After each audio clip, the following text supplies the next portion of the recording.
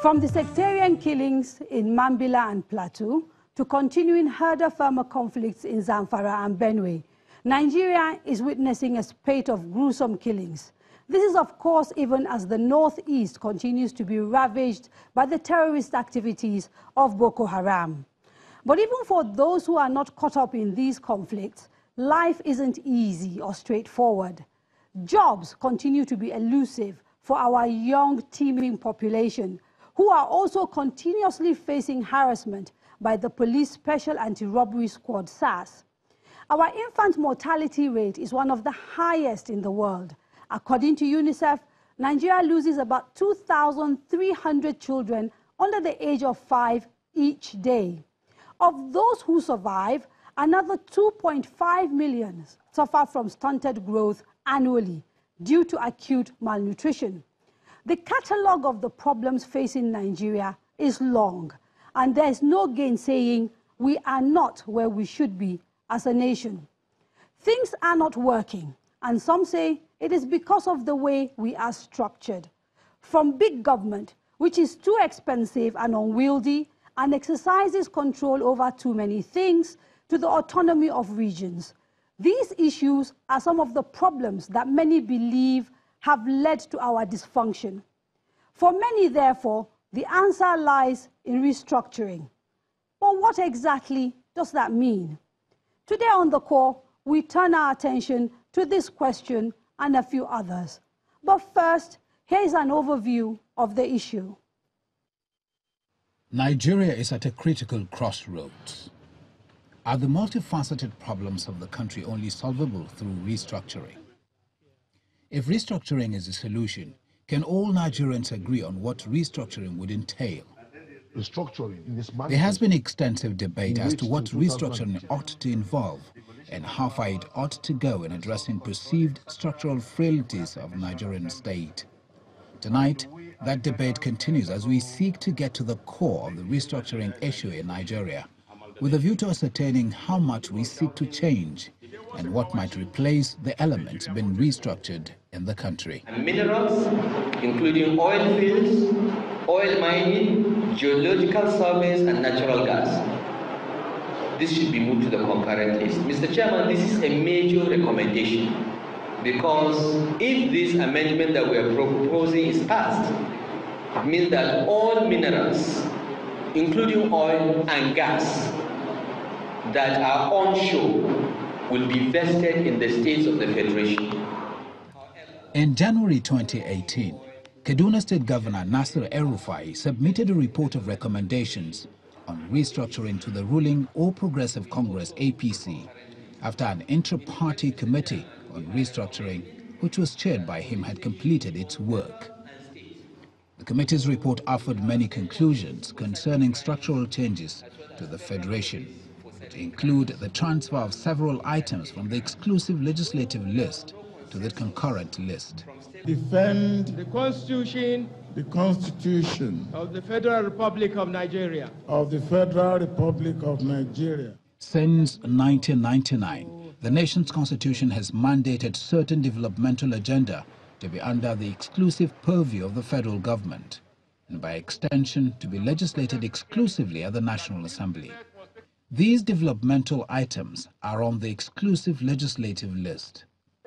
In contrast, the concurrent list contains those developmental items which fall under the purview of state government that can be legislated on within state houses of assembly.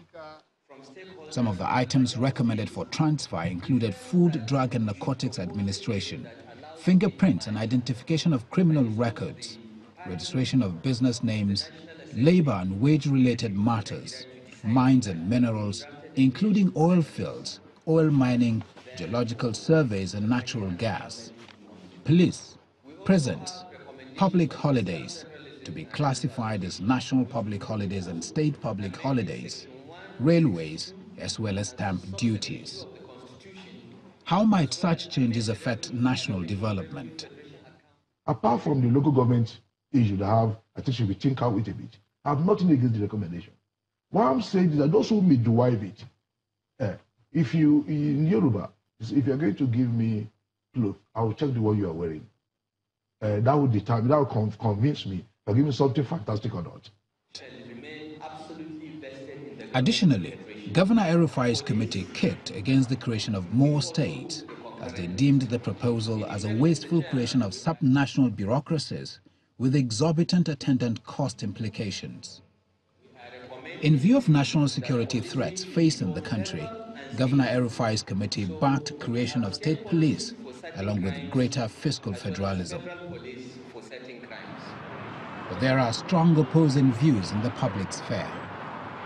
Some key stakeholders alongside members of Nigeria's opposition People's Democratic Party PDP believe that discourse about restructuring ought to be national in nature and less exclusive to a political party. Opponents of Governor El-Rufai's recommendations assert that the recommendations emanating from the 2014 National Conference ought to have been given serious consideration and implementation. We got the best from Nigeria. First class traditional rulers, professionals, the youth, artisan, market women, students, the academia, the labor, trade unions, retired police officers, military officers. In fact, the who is who in Nigeria. They were at that conference. And after argument for about six months, for about six months, at times almost coming to blows, we finally reached so many consensual decisions. One of them was this restructuring, devolution of powers. In recent times, the restructuring issue had falling down on the list of government priorities as the federal government grapples with challenges arising from incessant farmers-herdsmen clashes and other allied forms of criminality. This Senate must take it as a responsibility to make provision for state police. But with principal officers of the National Assembly and state governors in the affected regions now adding their voices to the call for the restructuring of the nation's security architecture, the onus is now once again placed upon what process would lead to the restructuring that is being clamored for.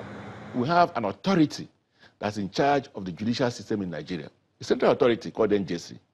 They appoint judges, they discipline judges, whether they are federal or state judges. And that's why you hear that, for instance, they're in Enugu, we have state judges. But nobody from Enugu had ever complained that his political opponents used those judges against him. The reason is that there's NJC in Abuja making sure that that doesn't happen. Uh, so if we structure our police in that manner, I'll have a National Police Service Commission that helps to appoint commissioners of police for those states, just as do NJC, and then help in disciplining them. And then you have at the state level the State Police Service Commission that deals with the lower cadre of the police. Beyond security, the debate on restructuring increasingly is cited as having potentially profound ramifications on economic development in the country. From resource control to efficient bureaucracy, many experts weigh in on the way forward for various regions in a restructured Nigeria. State policing may not be the complete answer, but at this point in time, it is the most crucial next step in the polity of the nation because of emerging threats. Whether you're looking at armed banditry from uh, Zamfara, or you're looking at cattle rustling, or you're looking at farmers' attack, looking at armed robbery, look at terrorism, whatever it is, the argument can be made at the moment for the creation of state police. Where we are today in Nigeria is only somebody who enjoys the flow of blood that's going on that will oppose state police at this stage. Restructuring seeks to answer the question, which items should belong where? So many sides to the debate, and the process is nowhere near a conclusion. It is time now to get to the core of the matter.